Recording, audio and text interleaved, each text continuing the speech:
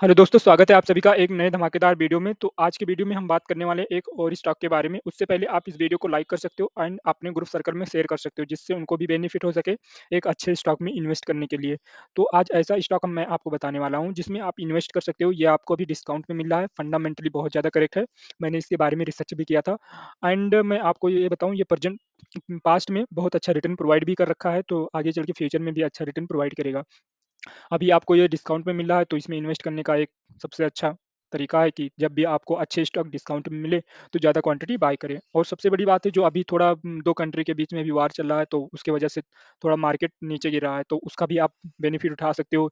जब भी आपको उस समय आपको बहुत अच्छे-अच्छे स्टॉक डिस्काउंट में मिलेंगे, तो उसमें आपको पैसा लगाना चाहिए। ऐसे ही समय को आपको वेट करना चाहिए जब मार्केट थोड़ा नीचे आए दस पाँच छः परसेंट नीचे आए, तभी आपको पैसा लगाना चाहिए। तो उसमें आप ज़्यादा कम रुपये में ज़्यादा क्वांटिटी खरीद सकते हैं। जब मार्केट रिक रिकवर होगा, तो आपका पैसा और ज़्यादा भागेगा। तो आप लोग देख ही सकते हो कि अभी ये स्टॉक जो है 6 मही छः महीने के अंदर 10% ऑलमोस्ट 11% का रिटर्न प्रोवाइड किया है, तो ज़्यादा नहीं प्रोवाइड किया है। एंड मैं बात करूँ एक साल के अंदर, तो एक साल के अंदर 46% का रिटर्न प्रोवाइड किया है एंड पाँच साल के अंदर कब बात करूँ तो 1682% का रिटर्न प्रोवाइड किया है। पाँच साल के अंदर तो अच्छा खासा रिटर्न प्रोवाइड किया है एंड आगे भी चलकर ये रिटर्न प्रोवाइड करेगा क्योंकि मैं आपको बताता हूँ कि ये क्यों रिटर्न प्रोवाइड करेगा।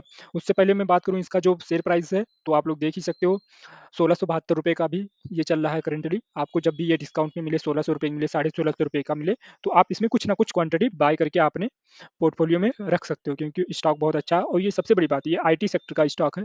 तो आईटी सेक्टर का स्टॉक आगे चल के बहुत ज़्यादा बूम मचाने वाला है एंड मैं बात करूँ जो इसका जो मार्केट कैप है, ये बहुत कम है अभी मार्केट कैप, ज़्यादा मार्केट कैप नहीं है। आप मान सकते हो 45 हज़ार करोड़ रुपया मार्केट कैप, तो इसको आप स्मॉल कैप की कंपनी कंसीडर कर सकते हो या मिड कैप की कंपनी कंसीडर कर सकते हो। स्मॉल कैप ही कंसीडर कर सकते हो आप लोग और ये अभी आगे चल के मिड कैप बनेगा, फिर उसके बाद ब्लू चिप बनेगा। एंड मैं बात करूँ जो 52 वीक में हाई बनाया था, ये ₹1928 का हाई बनाया था एंड जो 52 वीक में लो बनाया था, वो 1091 रुपये का लो बनाया था। एंड मैं बात करूँ जो इस कंपनी का नाम क्या है, तो आप लोगों को पता ही होगा, आप लोग इन्वेस्ट भी कर रखे होंगे इसमें, बट आप लोग सोचते होंगे इसमें मैं से पैसा निकाल दूँ, बट पैसा मत निकालिए, इसमें कुछ क्वांटिटी और एड कर सकते हैं। केपीआईटी टेक्नोलॉजी करके है, तो ये बहुत अच्छी कंपनी है, आगे चल के लिए विप्रो का टक्कर दे सकती है, बहुत बड़ी कंपनी बन सकती है, क्योंकि ये फंडामेंटली बहुत ज़्यादा करेक्ट है। इसका सेल्स ग्रोथ मैं बात करूँ, तो इसका जो सेल्स ग्रोथ है वो 20% से भी ज़्यादा है एंड प्रॉफिट ग्रोथ भी प्रॉफिट ग्रोथ भी 20% से ज़्यादा है एंड रिटर्न ग्रोथ भी प 20% से ज़्यादा है। तो आप इसमें इन्वेस्ट कर सकते